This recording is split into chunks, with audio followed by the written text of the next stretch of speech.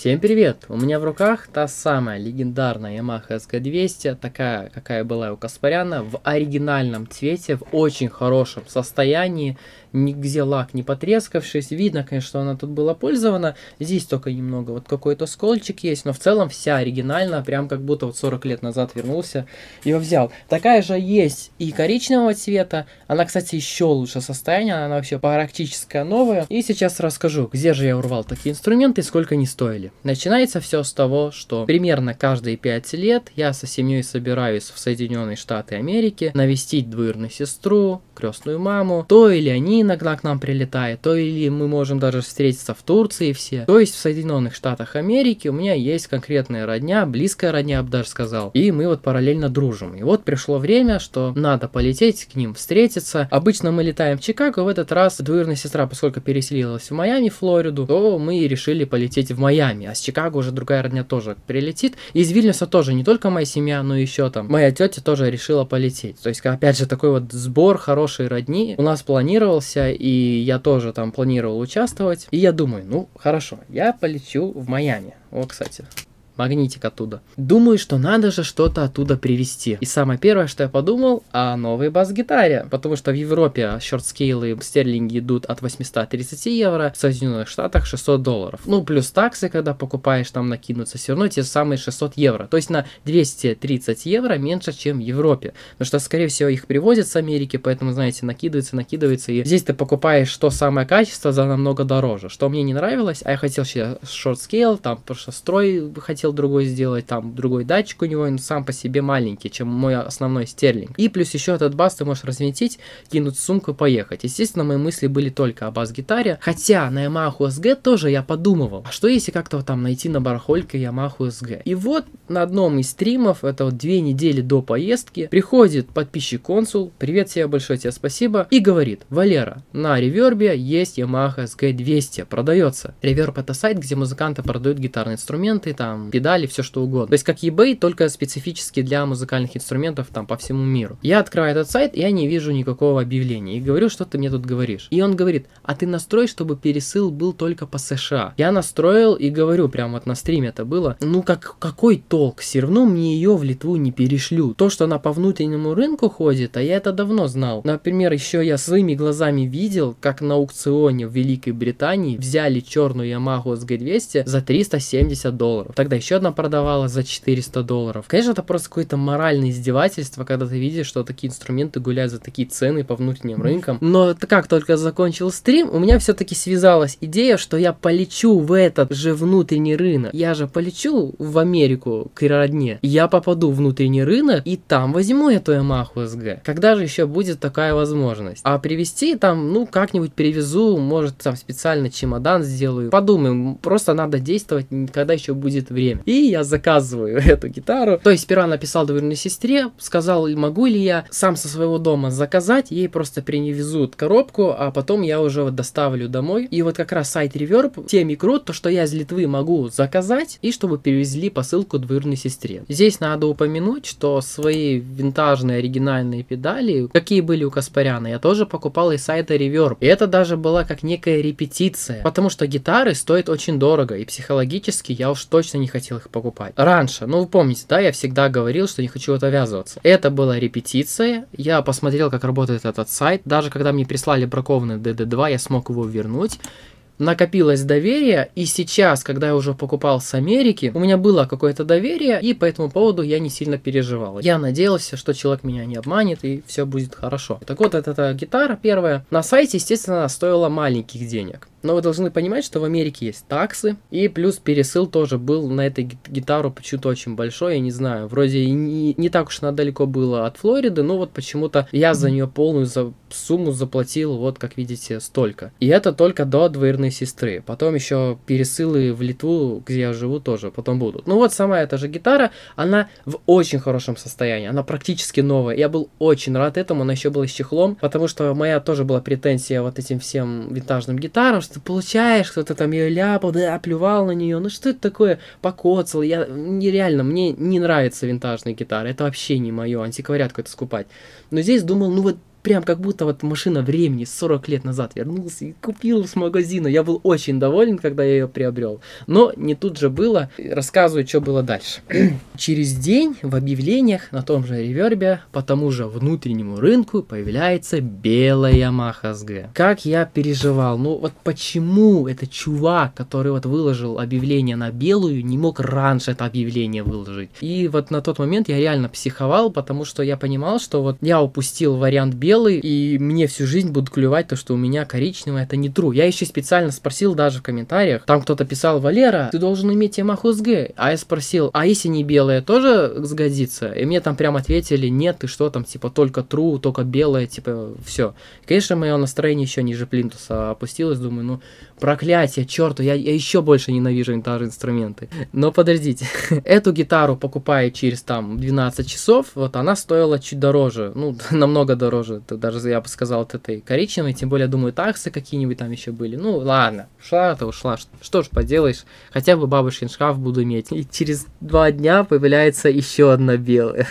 Тот же самый консул приходит на стрим и говорит, Валера, появилась белая Yamaha SG200, я нахожу объявление, вижу ее, ну что с этого? Денег у меня ноль, и я не знаю, как их буду там потом две перевозить, я уже заказал бабушкин шкаф, говорю, ну типа, чуваки, все уже, ну что поделаешь. Но здесь мне помогал товарищ схематичный, он как специалист по этим вещам, он, он мне говорит, ты должен вот эту достать обязательно. Прям вот из земли выкопай деньги, но ты должен ее достать. Потому что вот этот вариант, который уже выплыл только что, он был с кейсом, она не покоцана, практически не побитая, то есть хотя бы корпус, лак был идеальный. И она стоила совсем небольшие деньги, она все стоковая в оригинальном цвете. Естественно, она типа говорит, надо ее брать прямо сейчас. Я прям вот выключаю стрим, иду к родителям. Конечно, у меня позитива не супер было много, потому что я понимал, что я иду в большой риск, да, у меня денег нет, я иду их еще одалживать, я не знаю, как их заработаю, еще и на поездку надо, еще и на пересыл надо. Ну, ладно, окей. Еще после стрима был, у меня реально голова взрывалась, я очень уставший был был. И иду к родителям, говорю, родители, такая ситуация, но прям, ну, вот надо, давайте мне вот одолжите деньги. И как специально у родителей было ноль денег, потому что мы уже потратили билеты на самолет, мы на круиз даже заказали в Бахамы, как, ну, то есть из Майами там круиз, очень много круизных лайнеров, и мы заказали еще увидеть Бахамы. О, кстати, магнитик привез даже из самих э, Багамах, было в Насау, в столице где этих Багамах. Вот. Ну, в общем, родители говорят, реально, на карточке нет денег, сори, чувак, все, сори, сынок. А точнее, деньги будут там завтра или послезавтра, когда получится зарплата. И вы должны понимать, что такая вот гитара, которая вот она была, нельзя ждать вообще ни часа, ни два, надо сразу брать, она уйдет вот так вот. То есть, да я бы и сам на нее заработал, но это надо время, а время нет. Поэтому вот это дополнительно вот это вот нервотрепка шла. Я говорю, а наличка, может где-то на черный день что-то накоплено. И такие, мама такая, ну хорошо. И она реально из носков, трусов, из каких-то шуфляток, там, шкафчиков достает последние вот эти вот наличку, последние там банкноты. Я сам все выгружаю из этого кошелька, собираю все, всю наличку и еду в банкомат. Ночью, это было после стрима, я заказываю такси, еду в первый банкомат, куда можно вложить деньги на счет, на карточку. Первый банкомат не работает, пфф, звоню, еще такси, беру другой банкомат, а такси тоже с карточки списывают, то есть получается, я хочу вложить деньги, но эти же деньги списывают. Слава богу, хотя бы второй банкомат работал, я вкладываю деньги. Если бы я не был в стрессе, был бы в хорошем настроении, я бы влог сделал. Но понимаете, какой стресс тогда был? То есть такой дрожишь, типа, и тебе только лишь бы все получилось. А эту гитару ее могли сразу купить. Еще добавка. Логические люди могут сказать, да чем ты занимаешься? Это психологическая вещь. Чтобы больше покупать, чтобы больше тратить деньги. И если мы говорим про новые вещи, я согласен. Но винтаж это все-таки коллекционная вещь. Этих гитар практически нигде нет. Они очень редкие. Либо есть за какие-то цены какие-то непонятные. То есть за коллекционные классные вещи всегда люди дерутся. Поэтому и аукционы происходят. И, короче, я просто спешил как будто на аукцион. Как будто я спешил, чтобы никто больше вот ее не купил. А то, что за одну неделю три Ямахи всплыли, это просто совпадение. Это чертовое просто совпадение. Они так не всплывают каждый день, поверьте. Как еще одна потом после этой всей истории всплыла Ямага, так она и уплыла. И теперь молчок, больше этих гитар нет. И, короче, все хорошо, вкладываю деньги, возвращаюсь назад и заказываю. Там нет, 10 евро не хва- э, э, оставалось. То есть она стоила столько, но мне, конечно же, таксы запросили, запросили какой-то шиппинг, слава богу, небольшой. И вот 10 евро на карточке осталось. То есть еще раз я заказываю белую. И вот это вот это есть вот это вот белая, которую я тогда вот заказал. Она с кейсом пришла прикольным. И она реально очень хорошего состояния. Единственное, только вот здесь вот отбитая, видите, вот тут вот скольчик такой, или даже два их видно. Но сам корпус, лак не потрескавшись, видно, тут она тоже чуть-чуть потертая, но очень хороший вариант за такие деньги, правда. Это, это прям мне повезло. Как мне сперва не повезло, то, что купил бабушкин шкаф и выплыла эта белая, которую я не, не успел взять. А это, получается, даже повезло. Но, опять же, на тот момент вы должны понимать, настроение было ниже плинтуса. Ну, Не хватало того, что я в долг взял, у меня две гитары на голове. Еще надо понимать, на тот момент у меня почему-то не переводились деньги с Boosty и Donation Alerts. То есть была какая-то ошибка и не переводились деньги. Я реально очень рискую, и я такой весь такой... Ну, короче, по правде, у меня настроение не было супер хорошее. Но, слава богу, настроение чуть началось подниматься, когда все-таки система отлагала деньги какие-то пришли, я хоть родителям мог вернуть деньги, и настроение поднялось, когда я открыл сбор, начал собирать, и мне э, люди начали помогать. И вот когда я вел эти сборы, когда я стримил, а я очень усердно, ус- даже засильно, как так сказать, стримил, даже перегорел, и вот я, когда стримил, я думал, пожалуйста, люди, помогите только сейчас, ну, пожалуйста, сейчас больше, потом меньше, потом можете даже там не донать, только сейчас, пожалуйста. Блин, ребят, я даже на канале фаната группы кино начал стримить. Это, я же говорю, я туда никогда не хотел стримить, но мне не было выхода, мне надо было из этого полного дна выходить, поэтому, слава богу, э, всем, всем вам спасибо, вы мне дико помогли. Там, по-моему, назначенную сумму мы не собрали, все равно как-то так получилось, что я насобирал себе на пересыл тоже немного осталось. То есть я отдал долги, оставил на пересыл, и может еще 100 или 200 долларов у меня осталось, ну, там, на жить, потому что, по- поверьте, мне не 10 лет, и мама моя очень строго со мной относится, я большой дядя, типа, сам и плати, поэтому, естественно, мне нужны были деньги на поездку, если я хочу там жить как-то. Поэтому, слава богу, вот, постримили, застримили, и я вылетаю в Америку, где меня должны ждать эти две Yamaha SG. Прилетаю к двоюродной сестре, достаю эти гитары, все классно. Ну, если честно, мне, мне они сперва не понравились. Я игрок стартокастеров, мне очень нравится тоненький гриф, удобная эргономика, все классно, звук мне нравится. А здесь я какой-то леспол взял, тяжелый, весь липкий в этом глазури, обмазан, глосси, как он там, финиш. Лак, короче, гриф гигантский, все, она неудобная, здесь костовые ребра убивает. Естественно, думаю, боже мой, ну почему мне так не везет? Ну, что происходит? Потом такой думаю, ну, окей, люди хотели, ладно, там, я начал постить то, что я ее получил, и я увидел вашу радость, и мне чуть-чуть сгладило это. Думаю, ну, вот слава богу, хоть и зели- зрителям нравится. В принципе, зрители тянули меня в это, зрители мне помогли. Ну и хорошо, ради зрителей хорошо.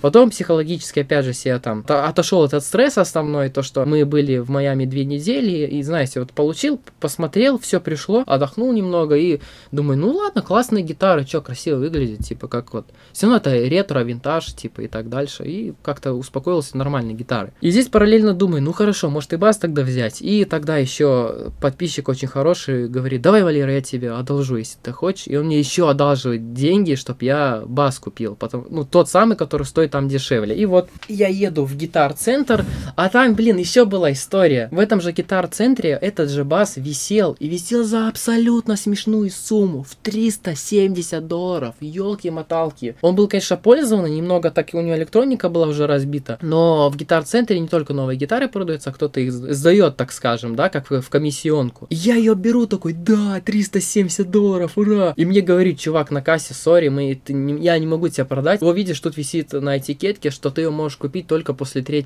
марта. А я улетаю, кстати, 2 марта. Почему? Потому что полицейский закон. Если какой-нибудь наркоман уворует вот эту гитару и сдаст, так у хозяина и у полиции есть целый месяц отыскать эту гитару. Поэтому такие гитары обычно не покупают, пока они висят вот этим красным, да, типа что вот только после этого числа вы можете купить. Или точнее, я могу ее купить, но я забрать смогу только после третьего. А если я куплю и окажется, что это ворованное, ну тогда какие-то проблемы будут. Естественно, и, блин, я сильно разочаровался, ну ладно, думаю, еще одна такая висит красненькая. Подхожу, и чувак просто на моих глазах какой-то дед ее заберет, и такой, «О, а вы что, его покупаете? Я говорю, да, это говорит, я уже целую неделю рассматривал. Он идет в кассу, ее покупает. Просто на моих глазах она стоила чуть дороже, 400, но все равно, блин, 400 долларов, елки-моталки за такой баз. Я и хотел именно, чтобы он был дешевый, я не хочу платить дорого, хочу как полуигрушка такая была. И просто я тоже, знаете, такой снервничал, блин, да что мне не везет? Но Ладно, потом подписчик, и еще раз тебе большое-большое спасибо, он мне одолжил э, денег, я новый заказал. Но опять же здесь подгвоздка, то что новый бас пришел не в очень хорошем состоянии. Такое чувство, что он лежал в каком-то складу, липкий, грязный, или даже в магазине висел. Его все лапали, и никто его не, это, не купил, потому что, ну, не, некрасивый, ну, видно, он, короче, тем более он пришел не в оригинальные коробки, без оригинальных ключей, чтобы подстраивать гриф. Кстати, даже не знаю, ли этот подходит подстроить. А, а, слава богу, подходит. Ну, короче, тоже, знаете, когда я получил вас, такой, блин, думаю, ну что ж такое? Ну почему такая вот проклятие? Что за бред такой? Сейчас я его уже с, после перевозки сложил, ну все вроде с ним нормально. Все равно мне он дико нравится, у него очень классный звук. Просто говорю, как, как вариант по дереву немного отстает от его цены. Он должен быть чуть-чуть, чуть-чуть получше он должен быть. Ну, окей, бас это отдельная история. Но это важно было рассказать, потому что это все было вместе. Гитары и вот этот бас, это все происходило как бы в одной и тот же момент. Ну и вот смотрите, э, приходит уже время думать о перевозке этих Ямах в Литву. Если с басом проблем нет, раскрутил туловище себе, гриф чемодан, все. Как вот эти вот вещи перевозить? У одной кейс, я думал так, давай бабушкин шкаф в самолет возьму в чехольчике, а этот в кейс багаж. Но когда я увидел этот кейс, я понял, он не выдержит просто ничего. Это просто одно название кейс, вообще винтажный кейс, его надо в антиквариат сдавать. Ну и тогда я думаю, ладно, пойду я в упаковочную компанию в UPS, прошу, сколько упаковать ее и сколько пересыл. Может вдруг не через самолет, может просто пересылом тогда, чтобы не было стресса с самолетом. А там мне сказали, сори, чувак, столько, сколько ты хочешь, это очень дорого, там больше тысячи долларов получится. Ну, если через транспортную компанию доставить в Литву. Говорю, ну хорошо, а упаковать ее правильно? Ну, мне показывает табличку, там показывает 100 долларов. Ну и хорошо. Ну вот я и заказываю услуги упаковки. Я так продумал, хорошо, кейс это уже хорошо. Вот здесь будет белая, бабушкин шкаф, ну или как это, коричневая. Вот так вот их сложим вместе, а еще вот здесь где-то гриф поставим. Так я и переехал в эту упаковочную компанию. Все, я внутри самих этих уже все упаковал хорошо, да, и вот показал ему так сделайте. Они сказали, хорошо, 116 долларов я заплатил, и они сказали ждать там больше часа. Я просто офигел. Я говорю, чуваки, я вам гитары даю. Ну, это дорогое, может, как-то мне на глазах сделаете. Она там спросила это, вот менеджер, говорит, опс, сори, типа, ну, правда, никак, у нас очередь. Типа, оставляйте, шуруйте, либо ждите здесь. Я, ну, я на свой страх и риск думаю, ладно, оставлю вам и уйду. Я ушел, потом пришел, они все упаковали, и вот эту коробку, которую они сделали, я ее открыл только вот вчера буквально у вас на глазах на стримах. То есть до этого я не знал, или они мне реально упаковали гитары. Вдруг они эти гитары себе присвоили, а мне кирпичи упаковали. У меня было такое ощущение очень, ну, нехорошее, стрессовое. Ну, думаю, ну ладно, ладно, ладно. Не буду открывать. Я боялся, если я начну там открывать, я нарушу там эргономику. А я заплатил еще повышенным тарифом, то, что это fragile, то, что это очень бьющийся материал, и они должны были там супер специальные вещи еще использовать, чтобы эти гитары не разбились. Если вчера смотрели упаковку стрим, то увидели, что действительно упаковались ого-го. То есть не зря я оплатил 116 евро. Хорошо, это все упаковано, да, то есть туловище баса есть, гриф и две ямаки есть, все хорошо. А как через самолет лететь? Потому что у меня как багаж он превышает. И за это можно там дополнительно доплатить, и все будет хорошо. Но на сайте я не могу этого сделать, как будто нет варианта. Здесь я опять начинаю стрессовать. Опять я еще начинаю читать, вдруг вообще дерево нельзя провозить, потому что было такой момент, когда из США нельзя было вообще вывозить никакое дерево, даже гитары, потому что там типа красное дерево вымирает, и красное дерево любой вывез, там какие-то проблемы, либо просто таксы тоже. И не то, что ты купил в Америку и тебе возвращают деньги, наоборот, ты купил в Америке, ты еще должен заплатить за какие-то вот то, что ты перевозишь. Естественно, я дико стрессовал, тем более у меня две гитары, как барыга, но я сконтактился с женщиной из этих вот авиалиний, сказал, типа, как мне заказать вот такой и такой ситуации, у вас на сайте я, я, я должен типа заплатить, и нет, нифига. Она говорит, сейчас я сделаю все, и она реально там все мне пришла, прислала, все сделала, я заплатил, стандартный стандартный багаж обычный, там где одежда, он небольшой, 70 евро, а этот повышенный спорт-багаж 105 евро. Даже чек, слава богу, его отпечатал, вот этот чек, там где все написано. Потому что, когда я пришел в аэропорт, мне сказали, шуруй, типа, мы, мы не можем. Во-первых, у нас нет в системе почему-то не сделано. Во-вторых, ты не можешь гитары и столько платить, у нас гитара типа дороже стоит. И в-третьих, еще что-то там, какие-то, что-то дико не понравилось ей. Естественно, опять уровень стресса растет, типа, куда я вляпался, зачем эта фигня нужна. Ну, слава богу, слава богу. Типа, они там, менеджер опять пришло. То есть, понимаете, со мной вот э, простые работники не могли нормально сделаться. Даже когда упаковал вот эту гитару, тоже должен прийти менеджер обязательно и только показать, что надо делать. Сами работники такие, что за какой-то, блин, инопланетянин перешел, просит какую-то ерунду. Я не знаю, ну, может, никто так не делает обычно. У меня опыт такой. Ну и все, короче, все. Вот билет сделан, взяли в багаж мою вот эту коробку огромную. Пошел я на, на, перелет и молился, чтобы мои гитары вернулись в, цел, в целости и сохранности. С собой из самолета, опять же, я не могу взять. Даже если я одну гитару придумал бы взять, это был бы риск. Почитайте, как музыканты провозят гитары через самолеты. Это всегда большой риск, что тебя не пустят в салон и скажут, типа, нет, мы это все равно в багаж отдадим. Вот, ребят, то, что я видел, я же теперь прилетевший, да, с гитарами, то, что я видел, слава богу, я все-таки их отдал в багаж. Поверьте, там было мало очень шансов. То есть я не знаю, как бы отреагировали сам вот стюардессы, но по, по самим вот этим, куда эту гитару вложить, немного места, все было чисто-чисто забито с чемоданов, нас еще посадили в самый конец, а там в самом конце не было вот этих, куда складывать чемоданы. Короче, просто жесть какая-то. Мне просто многие писали, ты в самолет бери, что офигел? Я даже там в гитар-центре стою, разговариваю с одним, а там один живет в Израиле, и он говорит, я только с собой беру гитары. Я такой думаю, ну, я с собой боюсь брать, у меня еще их две.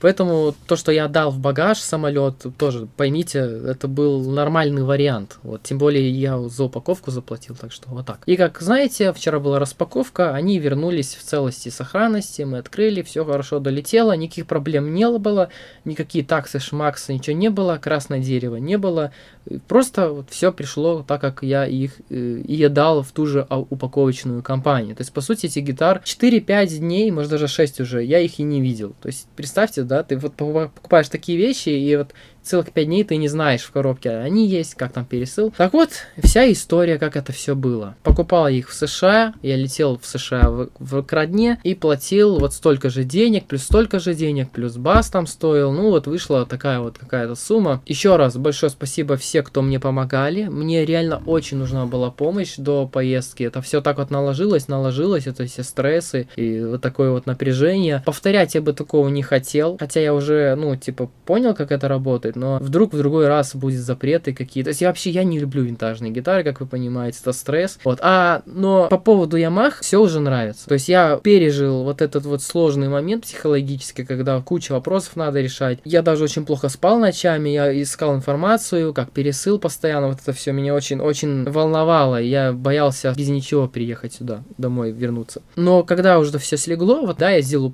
распаковку, и когда я начал играть на гитаре, все, я понял, фух, работает. И белая мне больше нравится, потому что она легче. Как знаете, еще раз, чем легче гитара, тем лучше. Она легкая, легче, чем вот коричневая, поэтому она мне больше нравится. Естественно, она и эстетически красивее, и в-третьих, естественно, у Каспаряна была такого цвета, оригинального тоже. И еще момент, что я буду делать с этой второй коричневой гитарой, буду ли я ее продавать. Ответ пока что я не планирую ее продавать, э, пускай она будет. Такой антиквариат, таким вот потом, нервами достался, мне как-то жалко ее. Если я продам, я никогда больше не куплю второй такой. Тем более более мой индивидуальный такой случай. Я знаю, что можно как-то через посредника, тоже, я же говорю, можно было даже вот когда в Великой Британии продавали там за недорого э, эту гитару, тоже можно было как-то сконтактироваться, может быть человек переслал. Это все можно делать, я знаю, люди пробовали делать, я сам пробовал, но это дополнительный стресс, дополнительные какие-то растраты. Посмотрите, может у вас легче будет история. Вы просто контактируете mm-hmm. с человеком, если есть вариант, mm-hmm. да, спрашиваете, и он вам пересылает. Но опять же, ребят, везде будет стресс стресс. Винтажная такая вот гитара, редкая. Это стресс. Все равно вас может кинуть, обмануть, ГГ прислать, все может быть. Так что моя история это только одна индивидуальная, как вот я так достал, кто-то еще достанет по-другому. Слава богу, она хоть недорогая. А представьте, она еще стоила по 200, ты там, по, по 2000 долларов, например, как Yamaha SG 2000. Представьте, Каспарян бы играл на Yamaha SG 2000, и нам бы надо было еще больше платить за это все. Это было полная жесть. Слава богу, это хоть по тем временам дешевенькая гитара. Так вот, бабушкин шкаф не продаю, и тремоло, там эти Каллер, Шмаллер, Флойд Роуз я не ставлю нигде. Я не планирую их изуродовать.